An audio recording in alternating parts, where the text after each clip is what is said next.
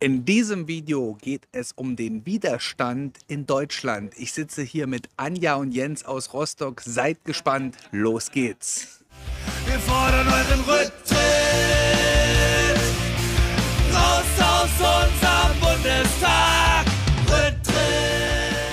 Hallo ihr Lieben, wie schon gesagt, wir sitzen hier in Berlin-Kreuzberg an einem der kriminellsten Orte, die es gibt in Deutschland, im Görlitzer Park. Und ich freue mich sehr, dass ihr mal dabei seid und dass wir uns hier mal begegnen. Hallo Anja. Hallo Björn, hallo liebe Zuschauer. Was hast du für einen Eindruck von Berlin?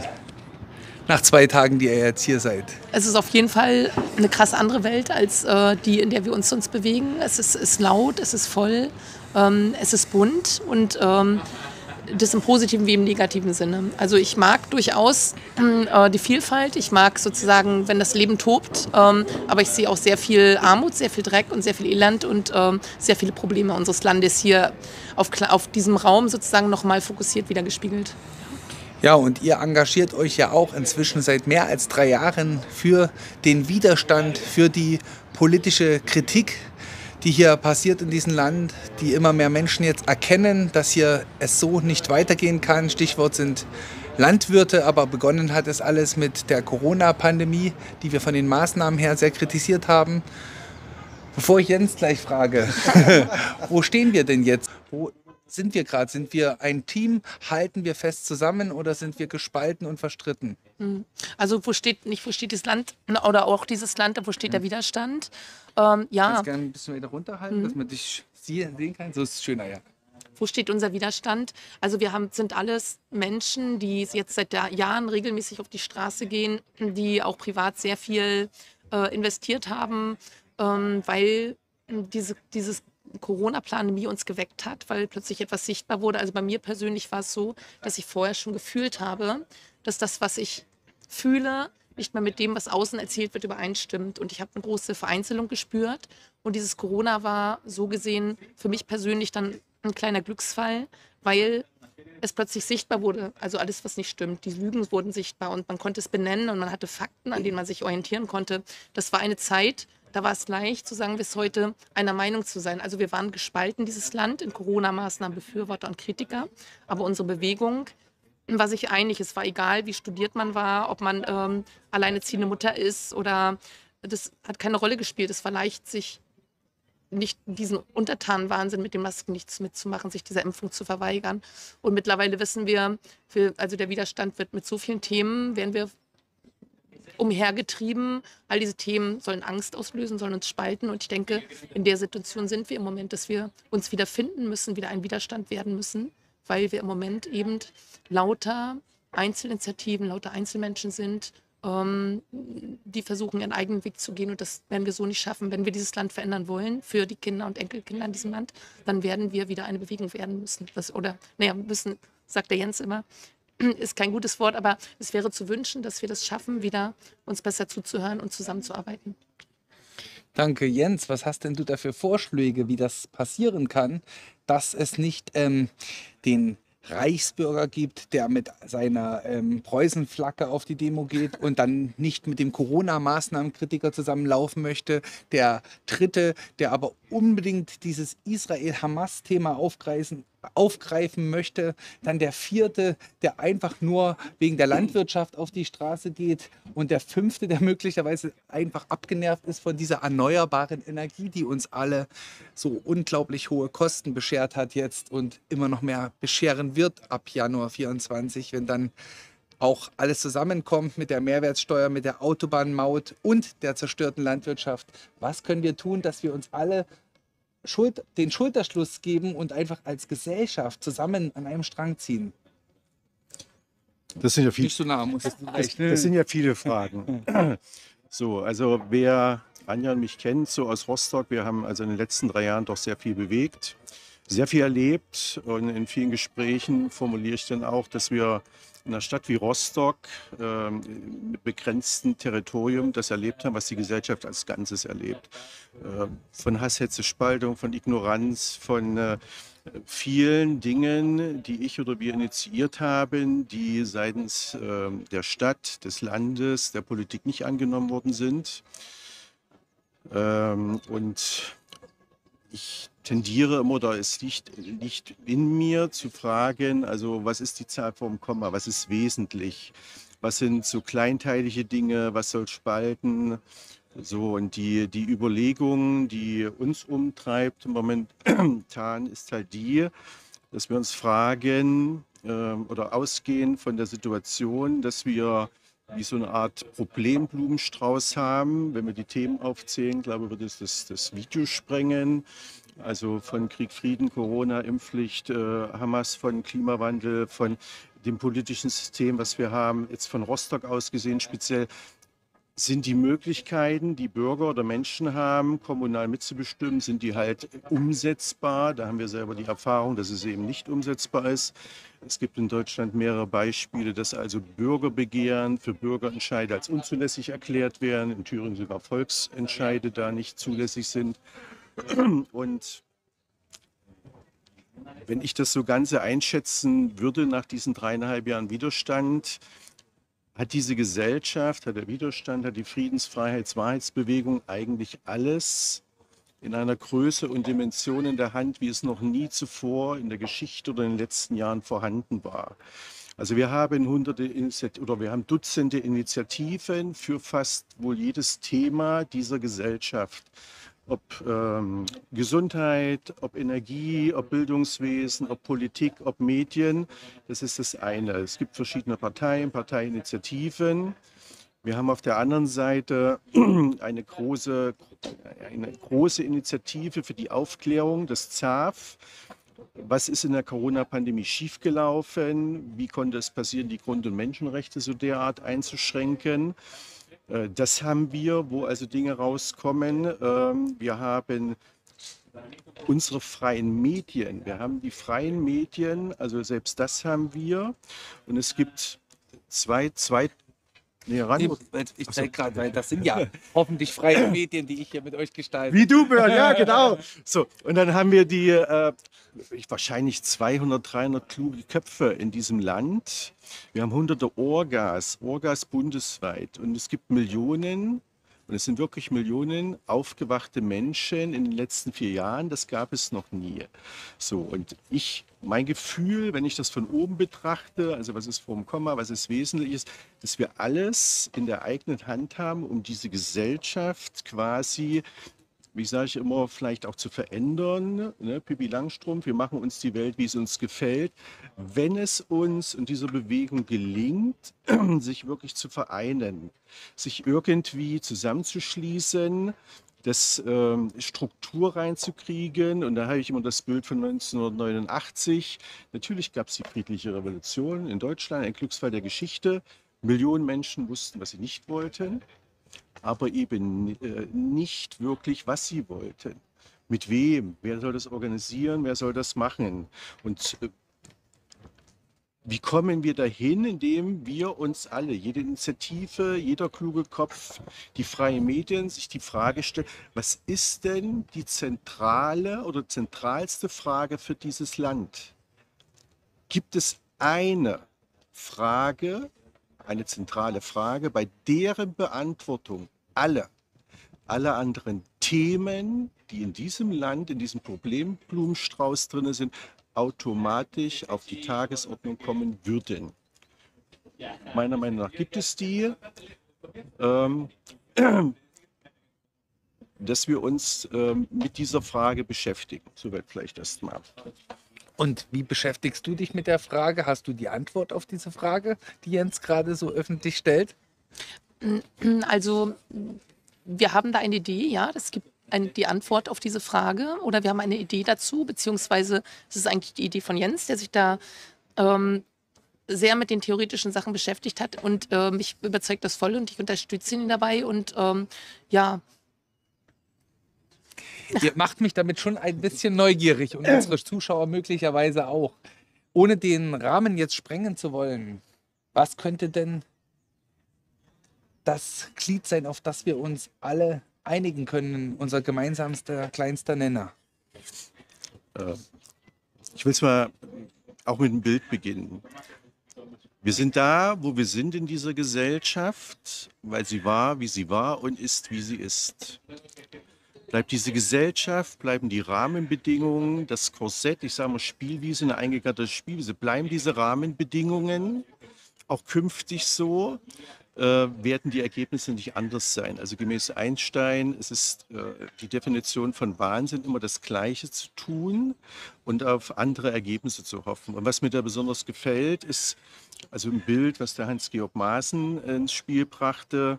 Also es gilt Deutschland wieder vom Kopf auf die Füße zu stellen. So, und dahingehend äh, die Idee quasi, schauen wir mal ins Grundgesetz, stellen wir das Grundgesetz vom Kopf auf die Füße. Was ist dann der erste Artikel? Welcher Artikel würde, wenn wir das Grundgesetz vom Kopf auf die Füße stehen, stellen, ganz oben sein? Und das wird Artikel 146 sein. So, und da kann jeder sich den Artikel 146 nehmen. Also dieses Land gibt sich eine Verfassung, das Volk, das Land erarbeitet sich eine Verfassung und beschließt diese Verfassung. Und wenn es gelingt, dass alle Initiativen, alle Menschen, die gesamte Bewegung dieses Bild verinnerlichen könnte. Ja, also wir möchten dieses Land, das Grundgesetz umsetzen, diesen demokratischen Artikel friedlich umsetzen, dann glaube ich, dann weiß ich, dass alle Themen, die stehen, alle, jede einzelne Initiative hat, auf die Tagesordnung kommen werden. Und ich weiß, das fühle ich, das ist wie ein Tausend-Teile-Puzzle. Wir haben alles. Wir haben tausend Teile als Puzzle. Es fehlt das Bild. So, und wenn wir die Medien nehmen, da gibt es Leuchtturm ARD. Wenn wir die Ärzte für Aufklärung nehmen, die sagen, wir möchten den WHO-Vertrag, der muss weg. Und dann gibt es wohl verschiedene, oder wenn wir das ZAF nehmen und sagen, wir müssen aufklären. Das alles äh, läuft einzeln, gelingt es aber, da ein Gesamtbild man fängt kein Tausend-Teile-Puzzle an, ohne ein Bild zu haben.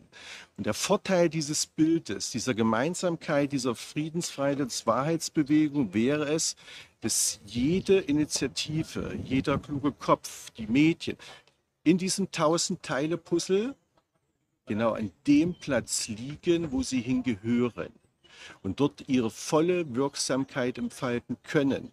Weil ich es so sehe, es reicht nicht aus, die Medien zu über äh, die Medien äh, mit den Medien ins Gespräch zu kommen, dann ist die Gesellschaft verändert. Es reicht nicht aus, den WHO-Vertrag zu, ver äh, zu verhindern, wenn die Spielwiese, die Rahmenbedingungen unseres gesellschaftlichen Zusammenlebens noch genauso sind. Da sind wir wieder bei Hans-Georg Maaßen. Auch in der DDR gab es eine Opposition.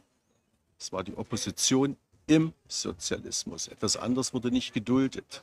Und vielleicht abschließend nochmal, nach vier Jahren, fast vier Jahren dieser Friedensfreiheits- und Wahrheitsbewegung, haben wir alles in der Hand. Es ist in einer Größe und Dimension vorhanden, wie es noch nie da war.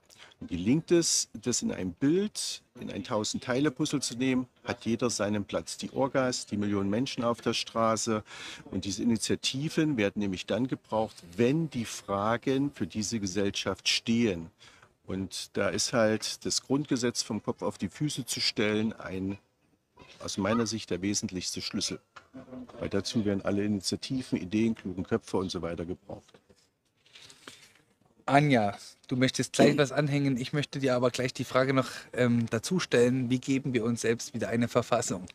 Aber erzähl erst mal. Ja, also du hast gerade. Nicht ganz so nah, weil sonst sind wir übertönt. Also du hast, Björn, du hast gerade die Frage gestellt, ähm, ob es ein, um, oder du hast das Wort benutzt, den kleinsten gemeinsamen Nenner. Und ich genau, glaube, genau darum geht es nicht. Es geht nicht um den kleinsten gemeinsamen Nenner, auf den wir uns kompromissmäßig einigen. Es geht darum, dass wir, das ist ein, etwas, was Jens auch sehr gerne sagt, wir sind die Summe unserer Stärken. Und nicht der kleinste gemeinsame Nenner ist unsere Stärke, sondern mhm. äh, jeder soll auf seinem Gebiet voll wirken können. Wir haben so viele Jetzt ergänze ich gerne nochmal so viele tolle Initiativen, kluge Köpfe.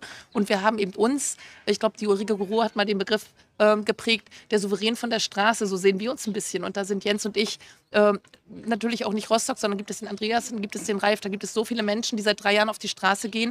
Und es wäre wichtig, dass wir das alles wieder bündeln können. Und das ist eben die Idee. Ähm, wiederhole gerne eine Frage nochmal, das war jetzt, wie geben wir uns eine Verfassung? Wie geben wir uns selbst endlich eine Verfassung? Ja. Ganz klar und ganz provokant. Denn ich möchte überhaupt nicht ähm, behaupten, dass wir eine Verfassung besitzen. Jetzt und hier. Genau, wir wissen ja, also alle aufgeklärten Menschen wissen, dass unser Grundgesetz keine Verfassung per se ist. Also im Sinne einer Verfassung. Und ähm, es geht uns darum, sozusagen diese Debatte an, anzuführen und dieses Thema Artikel 146 Grundgesetz als Werkzeug zu benutzen, unseren Widerstand wieder zu vereinen und ähm, und es stellt sich die Frage, warum konnte das dann alles geschehen mit unserem Land? Wir haben ein Grundgesetz, wir haben Menschenrechte, wir haben Freiheitsrechte. Warum konnten die so ausgehebelt werden? Und wie können wir es ähm, fertigstellen, dass das nie wieder passieren darf?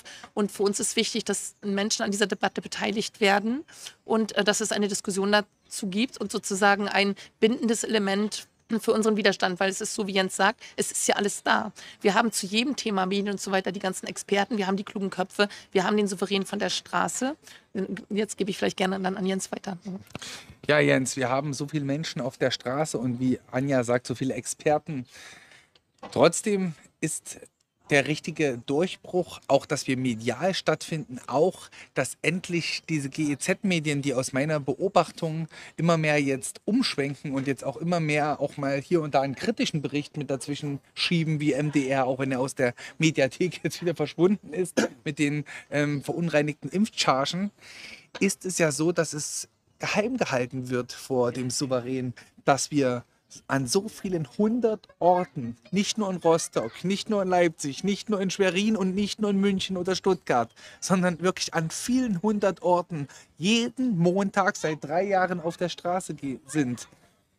Was kann, können wir tun, dass wir überhaupt richtig erkennbar in die Mitte der Gesellschaft rücken, da wo wir ja woher wir auch kommen. Ich sehe alle Alterskategorien, ich sehe alle Berufskategorien in diesen Demos, auf diesen Demos und trotzdem ist es einfach so wie bei der aktuellen Kamera, dass es gar nicht stattfindet. Offiziell wissen die meisten Menschen gar nicht und denken, heute laufen ein paar Irre durch Rostock und haben dabei gar nicht das Wissen, dass das in anderen Städten auch passiert und zwar genau in derselben Minute. Das können wir daran ändern, dass das endlich funzt und überhaupt diese, diese Kritik durchschallt zu den Menschen. Und ruhig ein bisschen weiter weg, sonst übertönen wir uns. Danke. Also die, die Zauberantwort oder die eine Antwort habe ich auch nicht. Das ist ja das, was ich vielleicht äh, in der Situation bemängele oder kritisch sehe. Äh, das die klugen Köpfe, die Initiativen alle meinen einzeln und allein und mein Weg ist richtig und nur der Weg ist richtig, ob ich die Partei mache, ob ich eine neue Partei gründe, ob ich ähm, nur den WHO-Vertrag nehme, ob ich sage, ich will in die Politik, ich will nicht in die Politik. Ich weiß nicht das Bild, ähm, ob es jetzt direkt zur, zur Antwort auf die Frage führt, aber ich glaube, eine Hilfe für alle ist es, wenn wir eine neue Gesellschaft wollen, und das ist Herausforderung genug, dann zu sagen, ich möchte diese selber vorleben. Toleranz, äh, Zwischenmenschlichkeit, Widersprüchlichkeit, diese, diese, dieses Akzeptieren, dass es also Menschen gibt, die diesen Mainstream-Medien folgen, dass es Politik gibt. Ich halte es für gefährlich und nicht gut zu sagen, also mit den Menschen rede ich nicht, mit denen nicht und mit denen gar nicht. Wie gesagt, Rostock im Kleinen haben wir das erlebt, was auch die Gesellschaft im Großen ist, wenn die Menschen dieser Bewegung, die klugen Köpfe, es nicht schaffen, eine, ein Klima äh, des Dialogs in der Bewegung, aber auch nach außen zu schaffen, sind wir nicht besser als das bestehende System. Wenn wir sagen, mit denen rede ich nicht, die sind doof, die haben Fehler gemacht und so weiter und so fort, äh, dann ist es dieselbe Medaille, nämlich was wir erlebt haben, Ausgrenzung, von der Seite, was wir von der Seite machen. So werden wir nie eine neue Gesellschaft schaffen. Ich sehe es als problematisch an und Anja und ich äh, sind ja unterwegs, Kontakte herzustellen zu verschiedenen Menschen, dass der Widerstand oder diese Bewegung für Menschen, für kluge Menschen ein Geschäftsmodell geworden ist. Bücher verkaufen, Vorträge, das ist CDs auch verkauft? Ja, das, ähm, ich, wir, wir, wir, unterscheiden es jetzt also in der Dimension, die ich meine. Ne? So, dass, dass du mit deinen Sachen, das, das ist nicht die Dimension, die ich meine. Wenn es also nächstes Jahr Vorträge geben wird, wo kluge Köpfe hinfahren, die dafür aber bezahlt werden sollen und müssen, um dort Vorträge zu halten. Wenn Bücher verkauft werden, wenn nur die Videos gemacht, das ist dann immer wie ein Arzt, der sagt, da muss was gemacht werden. Also ein MRT, ne, die verdienen immer ganz gut, mhm. schieben rein und sagen dann zu dem anderen Arzt, äh, da muss was gemacht werden. Also es gilt, sich zusammenzuschließen. Es gilt, ähm, erstmal irgendwo die Köpfe zusammenzubringen, die, die verschiedenen Initiativen zusammenzubringen, irgendwo ähm, eine geschlossene, also eine gemeinsame, eine, die, die Dialog herzustellen. Es ist äh, falsch zu erwarten, Jens Kaufmann, Björn Banane oder Anja, äh, wir haben jetzt diese, dieses Allheilmittel, also das ist ja schon wieder voroktroyieren, irgendwas, was, was zu machen ist. Aber deswegen bin ich immer vorm Komma, wo wollen wir hin, was ist das Wesentliche, was sind die Zahlen nach dem Komma, ja die Medien und wie sie umgehen und aus der Mediathek, wenn wir das nehmen, vor dem Komma steht eine Zahl, dann kommt nach dem Komma die erste Zahl des Medien, dann kommt irgendwann kommt mal die Mediathek. Ändern wir die Mediathek, passiert in dieser Gesellschaft nicht. Wird der WHO-Vertrag geändert, ich hatte es vorhin schon mal gesagt, dann haben wir noch nicht gewonnen, dann haben wir keine neue Gesellschaft, dann haben wir keine bessere Gesellschaft. Also, dass die Menschen, alle die sagen, Nein, nochmal. Wir leben, wir sind heute da, wo wir sind, weil die Gesellschaft war, wie sie war und ist, wie sie ist. Bleibt die so, wird vom Wesen her, von der Zahlform Komma nichts geändert, werden meine Enkel, deine Kinder, werden in diesem gesellschaftlichen Gatter weiterleben. Und da hilft uns halt Rostock, wenn wir also vorgegeben bekommen, so soll diese Demoform sein. Und wir sagen, nein, wir wollen die Spielwiese haben, auf der machen wir die Demo, dann kommt doch bitte zu uns und spielt mit uns. Äh, und viele andere Dinge, die wir im Kleinen erlebt haben, Rostock, die lassen sich so wunderbar auf die ganze Gesellschaft übertragen. So, ich halte es für sehr kritisch, wenn es zu lang wird, sagst du Bescheid. Also wenn wir Orgas haben, bundesweit, die einen Slogan haben nach der Demos, vor der Demo. Ich halte es für sehr kritisch, Ressourcen, Material und Menschen aufzuwenden, wenn wir im Oktober irgendwo in Deutschland sitzen und nach einer Demo sich dann verschiedene Leute zusammensetzen und im Oktober schon eine Demonstration, eine Versammlung für Juni 24 plant, ein Dreivierteljahr im Voraus. Äh, was ist jetzt das Ziel, Demos zu organisieren? Es hört dann sich wie ein Event an. Ist ein Ziel, im Kreis zu laufen oder so? Also ich halte es schon für sehr wichtig. Was ist die, was ist die zentrale Frage in diesem Land? Und ja, wenn wir das Grundgesetz vom Kopf auf die Füße stellen, mal die Augen zu schließen, aber Moment zu fühlen, welche Fragen hier alles beantwortet werden müssten. Es sind alle Fragen. Alle Fragen. Ob wir das digitale Geld nehmen, ob wir Krieg, Frieden nehmen, ob NATO, ja, nein, EU, WEF, wie ist das Politiksystem, das Schulwesen, das Bildungswesen und, und, und. Das, diese Fragen stehen alle, wenn sich dieses Land, die Menschen zusammenschließen und dies thematisieren. Es ist der Auftrag im Grundgesetz und spätestens mit der deutschen Einheit 1990 hätte dies auf die Tagesordnung gemusst. Schaffen wir das nicht, bleibt das System so, wie es ist. Ja. Und das ist, was Jens gerade gesagt hat, ist mir eben wichtig. Es ist sozusagen, es steht im Grundgesetz, es ist ein friedliches Mittel und es ist unser Auftrag, der uns im Grundgesetz gegeben worden ist. Und wir nennen uns Frieden, Freiheits, Demokratiebewegung oder wie auch immer. Und es ist für uns wichtig, der Weg wäre legal, er ist friedlich und er ist eben der Verbindungspunkt von der Gesellschaft, in der wir jetzt leben, mit den Bedingungen, sozusagen uns, so wie Jens immer sagt, auf eine neue Spielwiese zu begeben und sozusagen unser Zusammenleben neu auszuhandeln. Jedes Thema auf den Tisch, unser Menschsein auf den Tisch, unsere Art und Weise, wie wir miteinander umgehen, völlig verändern. Und das ist eine Erfahrung, die ich sehr schön gemacht habe während der Corona-Zeit. Das ist mir sehr schnell klar geworden. Ähm, die Menschen schon zu Corona-Zeiten, die auf die Straße gegangen sind, waren sich alle einig, sie wollen kein Zurück. Es ging ihnen nie darum, dass Corona einfach vorbei ist und dann ist alles, wie es, wie es mal war, sondern fast jeder, mit dem ich gesprochen habe, hat geäußert, wir wollen kein Zurück. Wir wollen jetzt, also unser ganze Zusammenleben, unsere Menschlichkeit steht mit auf dem Tisch, steht mit in Frage. Wie wollen wir zukünftig miteinander leben? Wie wollen wir mit unseren Alten umgehen? Wie wollen wir mit unseren Kindern umgehen? Was sind eigentlich ähm, die Werte, die wir wirklich haben und noch mit Leben voll, füllen wollen? Wie soll ein Gesundheitssystem aussehen? Ne? Muss das so sein, wie es jetzt ist, sozusagen eigentlich irgendwie auch nur eine Maschinerie und wo es um Geld geht und so weiter? Alles gehört auf den Tisch, damit wir sozusagen eine friedlichere, bessere Welt dann an die Kinder übergeben können. Ja. Ich mal als Bild noch. So, so als Bild. In dieser Bewegung haben wir, ich fange mal mit, mit den Staatsanwälten, Rechtsanwälten an. Also es gibt doch die Menschen aus diesem Fachgebiet und die werden doch dann gebraucht, wenn die Gesellschaft sich die Frage stellt, welchem Rechtssys- mit welchem Recht wir leben wollen. Die Justiz, die Rolle der Gerichte.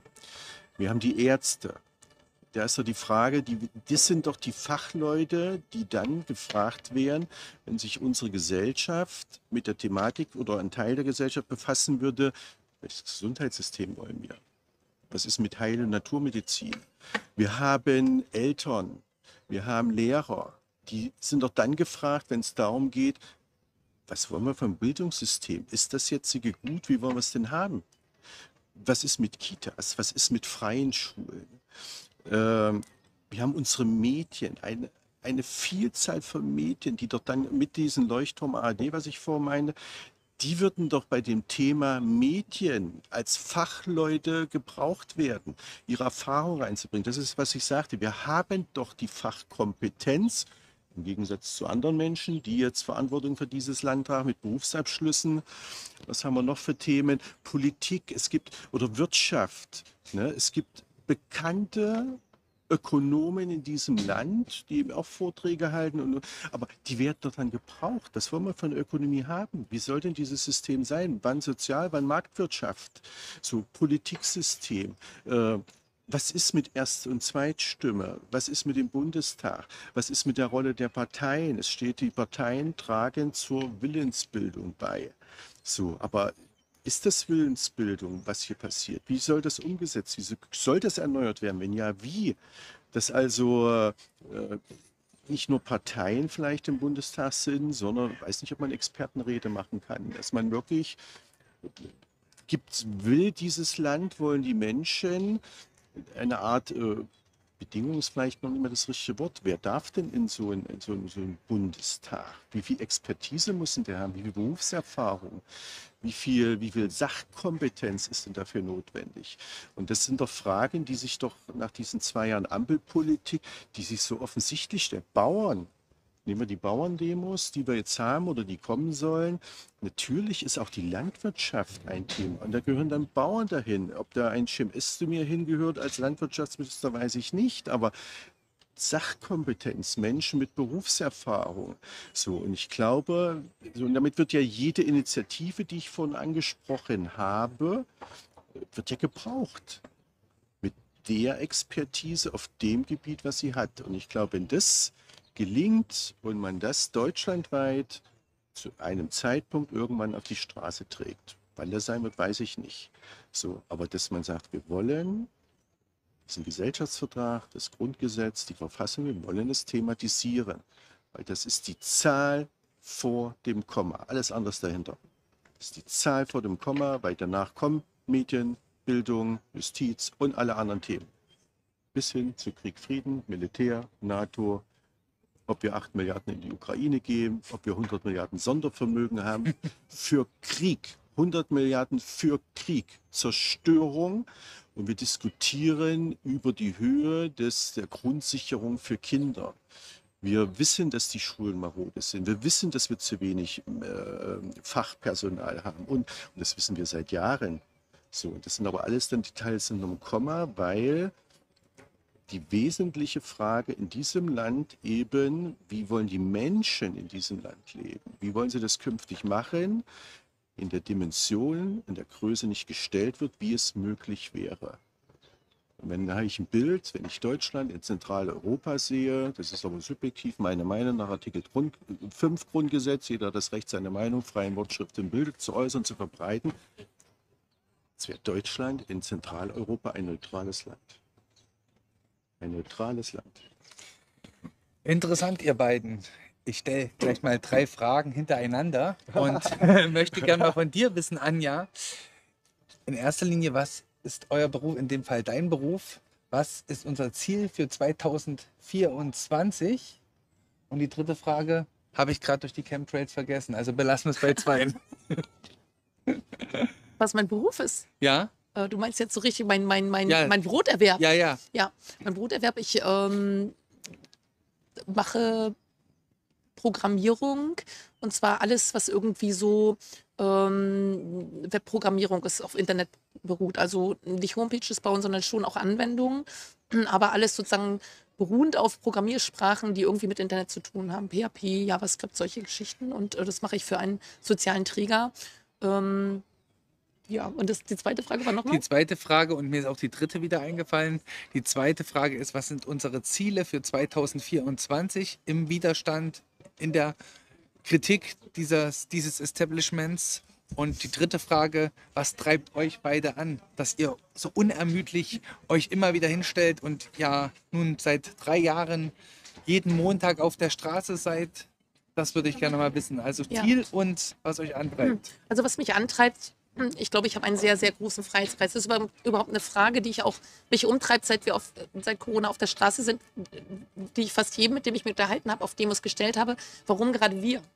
Ne? Also wir sind Ingenieure, wir sind irgendwie Arbeitslose, wir haben einen guten Schulabschluss, einen schlechten, wir hatten eine gute Kindheit, eine schlechte. Ähm, und warum gerade wir? Und das ist verbunden mit, für mich mit der Frage, was treibt uns an?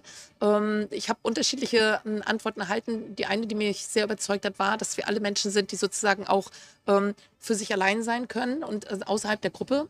Und mich treibt an ein großer Freiheitsgeist, denke ich, ein großer Widerspruchsgeist vielleicht auch. Ähm, und was wünsche ich mir für 2024? Ja, das, das große Wort über allem steht im Moment ist Frieden. Und damit meine ich eben, das ist, ähm, glaube ich, eine Begrifflichkeit, auch die wir für uns in Rostock gefunden haben, dass wir gesagt haben, es herrscht ein Krieg gegen uns Menschen und dieser Krieg wird eben nach außen geführt und auch nach innen. Das heißt, wir haben Kriege in Europa, wir haben Krieg im Gazastreifen. Und das ist das, die Problematik auch bei allen Themen, so wie Jens sagt, alle Themen sollen Angst erzeugen und uns spalten. Ja. Aber das Problem ist, sie sind eben auch real. Der Krieg in der Ukraine ist real. Es sterben dort Menschen. Er soll uns auch ablenken. So. Und es gibt eben diesen Krieg, der gegen uns Menschen geführt wird, dieser Krieg nach innen. Das sind diese ganzen Themen. Impfung, äh, digitales Geld, Kontrolle und so weiter. Äh, deswegen ist ähm, das große Thema für mich, was über allem steht, Frieden. Das alles ist ein Krieg. Und ähm, ja, gebe ich weiter. Ja, das sind doch ein paar Antworten, mit denen ich sehr gut umgehen kann. Und du, Jens, in knapper Form, Ziele 24, was treibt dich an und was ist dein Beruf? Ich fange hinten an und wenn ich was vergesse. Ja. Nein, ich habe mal, äh, bin ein Kind der DDR. Wir beide kommen aus Thüringen. Wir sind Thüringer. Das heißt, wir verstehen uns ganz gut miteinander. Also liebe Grüße nach Thüringen, aber auch an alle, an, an alle Menschen, die zuschauen. Ähm, bevor ich es vergesse, falls wir es noch nicht machen, an alle einen guten Rutsch, ein erfolgreiches Jahr 24. Ich knüpfe mal an Anja an. Äh, Frieden ist die Grundvoraussetzung für dieses Land. Und es tut mir weh, also das ist, fange ich auch wieder hin, es tut mir weh, dass ein Land mit dieser historischen Verantwortung, dass Schlagzeilen über die Ticker laufen, das war im März, glaube ich, die deutsche Rüstungsindustrie muss auf Kriegswirtschaft umgestellt werden, NTV. Oder Pistorius, wir müssen kriegstüchtig werden. Das, das schüttelt mich. Da sage ich, also sp- spätestens das war ein Grund mit der Panzerlieferung, äh, wenn es zu viel wird, schneidet es raus, dass wir sagen, seit 31. Januar diesen Jahres, und vielleicht war Rostock die einzige Stadt in Deutschland, die das gemacht hat. Wir haben aber aufgerufen, das sollte in jeder Stadt sein. In jeder Stadt sind wir täglich vor die Rathäuser. Es gab nur das Thema Krieg, Frieden. Bist du für Krieg oder Frieden? Und wenn du für Frieden bist, dann musst du auf die Straße. Machen wir das nicht, sind wir passiv. Und Passivität heißt Zustimmung zu Krieg. Und das ist die große Dimension. Und es ist, es ist traurig, um es mal sehr höflich zu formulieren, ähm, was in diesem Land passiert. In diesem Land, in dieser Demokratie ist es möglich, dass, ein, dass eine Partei ihre Wahlversprechen bricht. Keine Waffen, Rüstungsgüter und Kriegsgebiete. Und es sind die größten, meine Meinung nach Artikel 5 Grundgesetz, Kriegstreiber dieser Gesellschaft. Ein Irrsinn. Und es ist traurig, die Väter, die Mütter, die Großeltern in diesem Land lassen es geschehen. Sie schweigen in der Masse. Warum schweigen sie? Was, warum bin ich so, wie ich bin? Warum sind wir so? Schaut euch das Milgram-Experiment an. Das ist etwas, was ich erst äh, im Sommer 21 gesehen habe. Warum machen zwei Drittel der Menschen mit? Warum? So, das ist eine. Und das andere, warum ist es wieder möglich, die Menschen für Krieg zu begeistern? Es ist genau deshalb möglich, weil es jetzt so ist, wie es irgendwann früher mal war. Man darf das ja gar nicht mehr so offiziell sagen. Es ist durch die Medien.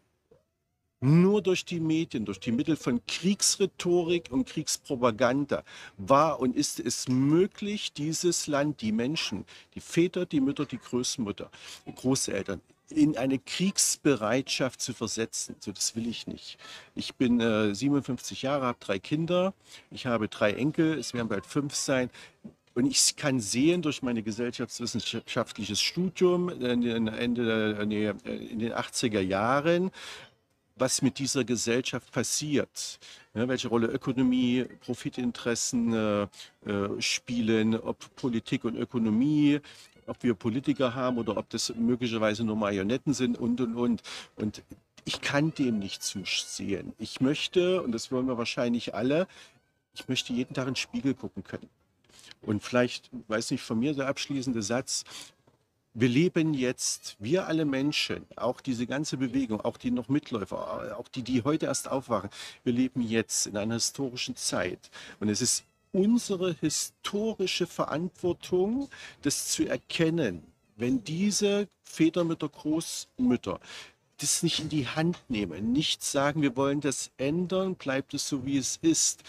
Es ist unsere historische Verantwortung der Geschichte wird es in 20 Jahren völlig egal sein, ob wir das erkennen oder nicht. Es ist jetzt, es sind wir, es sind nicht unsere Kinder, es sind nicht die Großeltern, also meine jetzt, sondern es ist, sind wir. Und ich wünsche mir, dass 2024 ein friedliches Jahr wird, dass die Menschen, jetzt werden ja diese Protestbewegungen kommen, sich zusammenschließen, dass diese Spaltung der Bauern, wir wollen nur unsere Subventionen und die nehmen wir nicht, sondern es betrifft ja ganz Deutschland. Die, die, die, die Wirtschaft wird zerstört, das Werk von Generationen wird hier kaputt gemacht. Und wenn sich diese Wirtschaft, also Gastronomie, Mittelstand, Landwirtschaft bis hin, es geht ja bis in die Schulen, aber wenn die sich nicht zusammenschließen, wenn es nicht zu dieser äh, Stimme des Volkes auf der Straße kommt, wir haben es ja schon einmal gehabt, es konnte verhindert werden, da gravierende Veränderungen hervorzubringen. Aber ich glaube, dass der Januar eine ganz entscheidende Zeit sein wird. Die Frage ist, ob die Bewegung, ob die Menschen bereit sind, sich zusammenzuschließen und eben sich auf das Wesentliche, die Zahl vor dem Komma zu konzentrieren. Was ist wesentlich? Was muss dieses Land? Müssen es Gewaltsprache? Was ist erforderlich, damit wir in einer Welt leben? Und wir haben es vorzuleben. Ne? Also die Welt, die wir haben. Pippi Langstrumpf, wir machen uns die Welt, wie sie uns gefällt. 2024 bist du dabei. Darf ich da noch was ergänzen? Unbedingt. Und während du das ergänzt, dass du gleich danach noch sagst, wo man sich beteiligen kann an dem Wunsch, die Welt so zu machen, wie sie uns gefällt, wo ihr jeden Montag startet und welche Uhrzeit das ist. Mhm. Also nochmal zu der Frage, ähm, was uns motiviert, auch so lange durchzuhalten. Ne? Das ist, und das fiel mir jetzt ein, nach, als der Jens geredet hat, wir leben im Moment wirklich auch aus dem Vollen, so sage ich es immer gerne. Wir leben aus dem Vollen, im Negativen, aber auch im Guten. Was wir in den letzten Jahren ähm, an, an, Menschen kennengelernt haben, an, an tollen, integren Menschen, was wir, wir vergeuden unsere Zeit nicht mehr mit Konsum, wie ich es früher vielleicht auch gemacht habe, oder ja. mit, mit, ähm, mit, Konflikten, die lächerlich sind, sondern ähm, wir haben eine sehr sinnerfüllte, eine sinnvolle Zeit und das, ähm, also da, auch da ist alles da. Also das Potenzial der Menschen ist da, die Herzen der Menschen sind da es ist alles da und wir sitzen hier an so einem friedlichen Platz ne, und das passt auch nochmal zum Thema Krieg, Frieden. Also wenn man das hier sieht, ist es ein herrlicher blauer Himmel, die Sonne geht gerade so ein bisschen unter hinter den Dächern. Es trotz sind Liebespaare. Der hohen, trotz der hohen Kriminalität. Genau, der, darauf wollte ich hinaus. Also ja, wir haben Liebespaare, wir haben Mütter mit Kindern und wenn man genauer hinguckt, haben wir eben auch sozusagen die Dealer, die irgendwie den Tod verkaufen und so weiter oder äh, die, die gleichzeitig auch wieder Täter und Opfer sind. Das heißt, das alles ist nicht einfach und ähm, sich auf das Wesentliche besinnen, auf das, was wir fühlen, wieder mehr. Ne? So. Und die Frage, also wo wir uns in Rostock treffen, wo jeder tätig werden kann, natürlich kann jeder auf die Demos gehen. Die findet ja in fast in ganz, ganz vielen Städten, also allein bei uns im, in MV, über Jahre, auch jetzt äh, über den Sommer, selbst in kleinen Städten und wenn es 20, 30 Menschen sind, sie gehen auf die Straße, sie zeigen sich. Jeden Montag. So ist es jeden Montag um 18 Uhr bei uns auf dem neuen Markt in Rostock. Und ich, wir wissen von, von Menschen, die schon über, seit über ein Jahr gar nicht mehr zur Demo kommen, die mal früher zur Demo gegangen sind, die uns zu, zu uns sagen, es ist uns trotzdem wichtig, dass es euch noch gibt. Dass wir wissen, die sind noch da und wir könnten da jederzeit noch hingehen. Was ich aber noch viel wichtiger finde, nicht jeder muss auf die Demo gehen. Manche können es vielleicht auch gar nicht, weil sie eingeschränkt sind oder so. Wir wirken, glaube ich, am stärksten immer da, wo wir leben. Wir wirken in unserem eigenen Umfeld am stärksten. Bei meinem Nachbarn, zu dem ich freundlich bin. Wenn ich zu meinem Nachbarn freundlich bin, wenn ich sozusagen menschlich bin und, und da offen bleibe, dann wird es niemandem gelingen, so schnell mich als Schwurbler-Nazi oder sonst was abzustempeln, weil der sich immer sein eigenes Bild machen kann. Ja. Liebe Anja, lieber Jens, Lieber Björn. ich Lieber möchte Björn. auch hier dazu sagen, die beiden wollten mich einfach mal privat treffen und ich habe sie jetzt mal wieder, wie ich so bin, vor die Kamera geschliffen und ich danke euch dafür, weil ich glaube, dass ihr ganz vielen Menschen auch Kraft und Mut geben könnt, dass ihr euch einfach hier stellt und mit Gesicht hier zur Verfügung steht. Und ich danke jedem, der etwas tut und ein Teil der Lösung ist. Denn genau das ist es, worum es gehen muss in 24. Wir wünschen euch einen guten Rutsch ins neue Jahr und eine gestärkte und transparent ehrlichere Gesellschaft für 2024. Das gebe ich mit. Und Frieden natürlich und Freiheit, was über allen Grundwünschen stehen muss. Liebe Grüße, abonniert den Kanal und folgt mir, wo auch immer ich bin. Ich bin am 22.01.2024 am Montag 18 Uhr auf den Kornmarkt in Rostock. Liebe Grüße zusammen mit Anja und Jens. Welchen Markt? Ist es nicht der Kornmarkt? Non Neuer Markt. Neuer Markt. Der, der Also Kornmarkt, der Kornmarkt war es in irgendeiner anderen Stadt der und- 500 Städte, wo Und ich war. Wenn es Fragen zu diesem Video gibt, dann bitte an Björn und dann werden wir Wege finden, zu kommunizieren. Ja. Insbesondere wenn euch, wenn, insbesondere wenn euch auch die Frage umtreibt, ob es diese eine Frage gibt, äh, die uns vereinen kann und äh, wie dieses Land souverän wird und friedlich wird. Super. Also, macht's gut. Tschüss, bis 2024. Oder ich mach morgen nochmal Raus aus unserem Bundestag!